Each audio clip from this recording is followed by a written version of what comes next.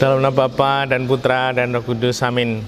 Bu Bapak, Saudari, Saudara yang terkasih, kaum muda adik-adik, salam bantul kasih, berkah dalam. Kembali kita berjumpa dalam renungan harian hari ini Sabtu 14 Agustus 2021. Kita akan mengambil dari Injil Matius bab 19 ayat 13 sampai 15. Sekali peristiwa, orang membawa anak-anak kecil kepada Yesus supaya ia meletakkan tangannya atas mereka dan mendoakan mereka. Tetapi murid-murid Yesus memarahi orang-orang itu, maka Yesus berkata, "Biarkanlah anak-anak itu, janganlah menghalang-halangi mereka datang kepadaku, sebab orang-orang seperti merekalah yang mempunyai kerajaan surga." Lalu Yesus meletakkan tangannya atas mereka, dan kemudian ia berangkat dari situ. Demikianlah Injil Tuhan. Terpujilah Kristus. Bu Bapak, Saudari, Saudaraku yang terkasih, Tuhan Yesus berkata demikian. Biarkanlah anak-anak itu, janganlah menghalang-halangi mereka datang kepadaku. Di masa pandemi ini, kita orang tua yang mempunyai anak, anak kecil, anak balita, anak pia, tidak bisa membawa anak-anak kepada Yesus dalam arti tertentu pergi mengikuti ekaristi di gereja karena hanya bisa secara online. Ini tantangan untuk kita sebagai orang tua. Sungguhkah di masa pandemi ini orang tua berupaya berjuang mengantar anak-anaknya untuk tetap sampai kepada Tuhan Yesus meskipun secara online.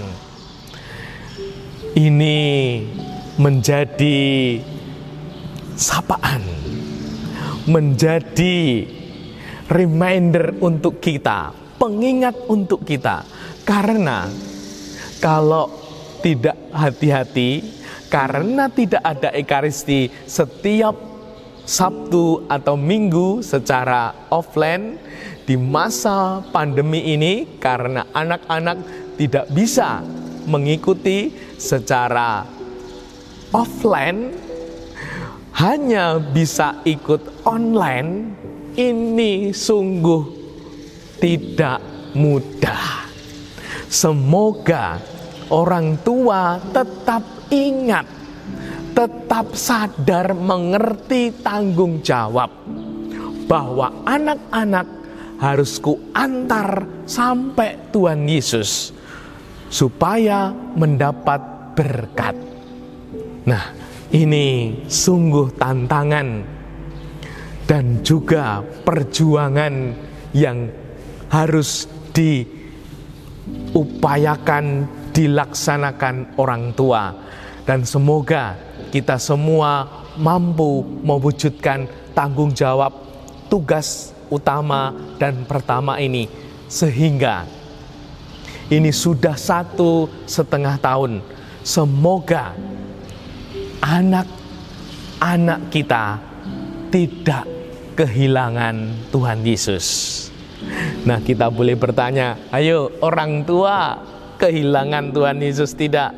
Apakah masih rajin untuk ibadah online? Ini tidak mudah.